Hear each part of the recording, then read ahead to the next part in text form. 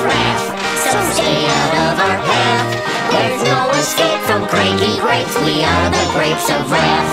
There's no escape from cranky grapes. We are the grapes of wrath.